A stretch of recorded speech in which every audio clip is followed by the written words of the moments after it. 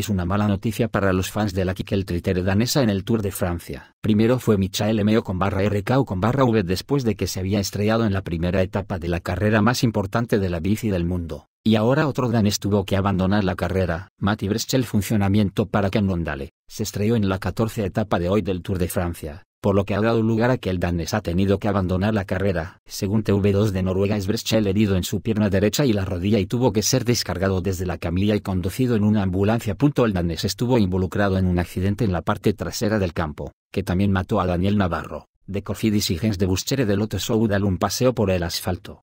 Sin embargo, los dos pilotos podrían continuar en la moto después del accidente. Afortunadamente lee los primeros informes de que no es demasiado grave cuando el ciclista danés, que, entre otras Danes Nigard, que es responsable de prensa en Orica Schenk, en Twitter, Mati Breschel estrelló y fuera de la carrera, pero no están gravemente heridos, según su responsable de prensa. Dado que también Cannondale es propio director del equipo Jonathan Bauter da un estado de Mati Breschel,